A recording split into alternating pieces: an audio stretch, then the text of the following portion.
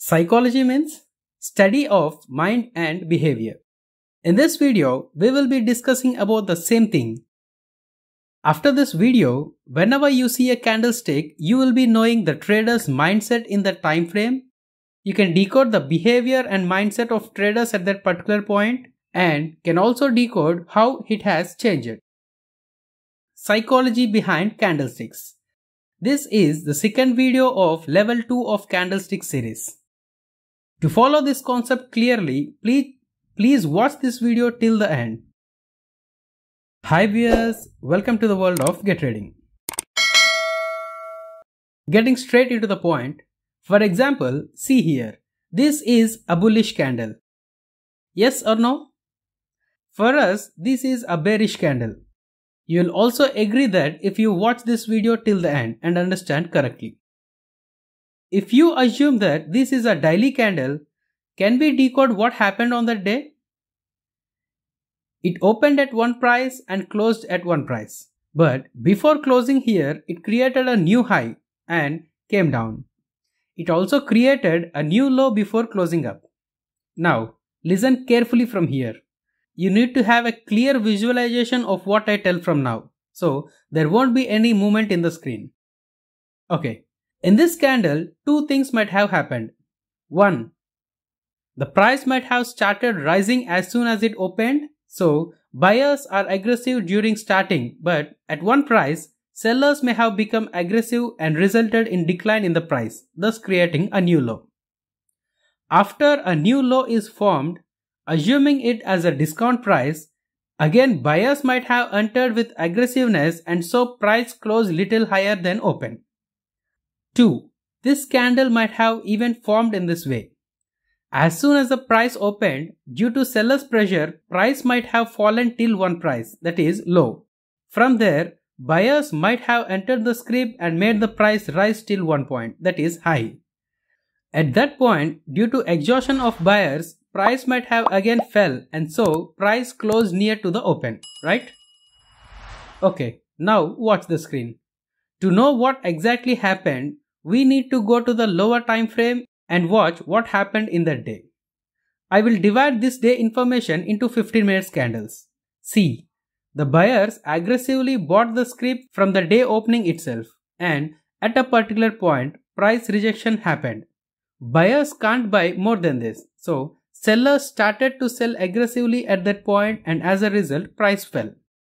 In the last 15 minutes, maybe due to intraday shortest profit bookings or buying interest from the BTST buyers, the price began to rise and closed just near to the open.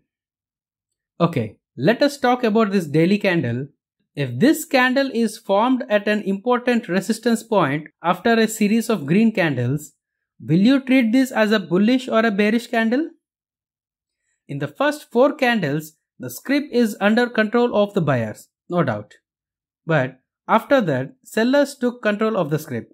Sellers were very aggressive that the price again never touched that high. But in the last 15 minutes, as said above, due to shortest profit bookings or BTST participants buying may have resulted in the price closing slightly above the open. Now, tell me again, is this a bullish candle or a bearish candle? I know, our mind won't agree to say it as a bearish, right? By default, our mind thinks that green as a bull and red as a bear. So, I will ask you the same question in another way. What sentiment this candle is showing? Is it bullish or a bearish? Definitely it is a bearish sentiment. Sellers are more aggressive than buyers. So now we are comfortable in treating it as a bearish sentiment candle, right? Now the important part of this video. I will reveal a method to find out the bullish and bearish sentiment in any candle. The two in a very very easy method. So let us see it. This is the candles open, close, high and low, right? What do we call this price from high to low? Range, range of the candle, right? Now, divide this range into three parts. That is, For example, if the range is 3 rupees, then there will be 3 parts of this.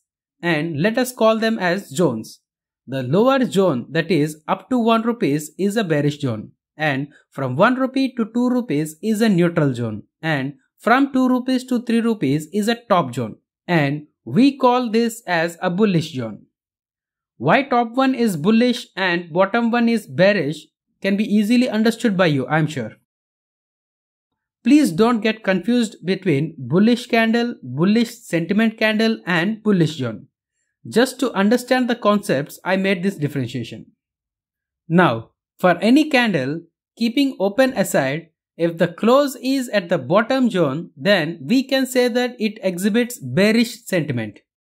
If it closes at the top zone, then we can say that it is exhibiting bullish sentiment.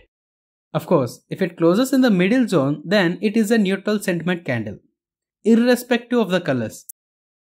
Let us see this practically. But before that, but before that, I think you are aware that we are giving good, confident and profitable short-term calls in our Telegram channel, free of cost. Join and try our calls. One more thing. We are representing Fyers Securities Private Limited for many many obvious good reasons.